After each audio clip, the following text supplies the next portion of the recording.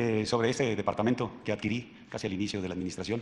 Eh, lo adquirí en el precio que dice la, nota, pero lo que no menciona esa nota es que el departamento era obra gris y por alguna circunstancia las personas dueñas anteriormente de ese departamento no habían hecho los acabados. Eh, esa fue la, oportunidad que tuve para adquirirlo a ese precio en ese lugar. No es cierto que cueste 30 millones de pesos. Ese departamento lo adquirí a través de un préstamo del Banco del, del Ejército.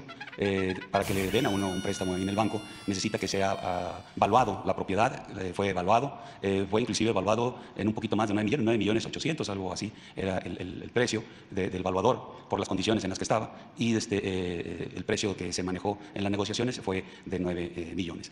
yo no tuve contacto con la persona dueña, sino tienen pues los, los, agentes, los agentes que, que, son agentes inmobiliarios, a través de ellos fue que hicimos la negociación y ya hasta el día de, las, de firmar las escrituras tuvimos contacto con la persona. Eh, la, la, la, la, empresa que, que establece el, la información, que es eh, eh, pues, eh, proveedora de la Secretaría de la Defensa Nacional, solamente eh, ha, ha, participado en varias ocasiones y solamente una, casi dos años después de, de que yo adquirí este departamento, eh, este, participó y ganó en una licitación, una licitación pública, e inclusive fue penalizada porque no cumplió con lo que tenía que eh, hacer en cuanto a la entrega de los bienes. Entonces, eh, eh, esa fue la última vez que ha ganado. Las demás ocasiones en que ha participado, muchas de ellas, pues no, no cumple porque precisamente lo que se busca es que eh, se obtengan los bienes que eh, dentro de la ley se pueden adquirir en menor precio, con la mejor calidad y evitamos que, que haya esa corrupción. Esa es la situación.